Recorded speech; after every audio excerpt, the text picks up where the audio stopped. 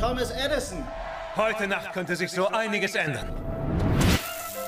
Meine Bücher sind so voller Ideen. Ich würde zwölf Leben brauchen, um sie alle auszuführen. Es läuft, sag irgendwas. Mr. Westinghouse? Edisons neues elektrisches System ist erheblich günstiger als Gas. Die Sache kostet mich ein Vermögen.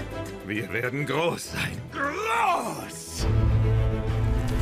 Sind Sie ein Prediger? Es werden Kabel angebracht, die Strom weiterleiten. Hat das schon mal vorher jemand gemacht? Woher hat er bitte die Glühlampen? Von mir! Edison ist ein Scharlatan. Seine Elektrizität tötet die Menschen.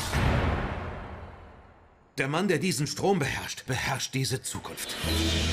Mr. Tesla, wir machen alle zehn Tage eine kleine Erfindung und eine bedeutsame alle sechs Monate. Es ist wie Zauberei. Es trägt den Namen Edison und ist somit auch noch attraktiv. Lassen Sie sich von ihm nicht provozieren. Geld ist ihm verdammt egal. Was ist ihm denn nicht verdammt egal? Ich habe euch lieber als jemals ein Mensch auf der Welt jemanden lieb gehabt hat. Mr. Tesla, haben wir eine Übereinkunft? Ich arbeite an fortschrittlichen Methoden, um ihn zu übertreffen. Mein herzliches Beileid.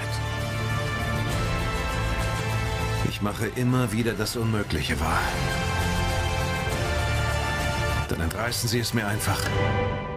Und ich mache irgendwas Neues. Was ist das?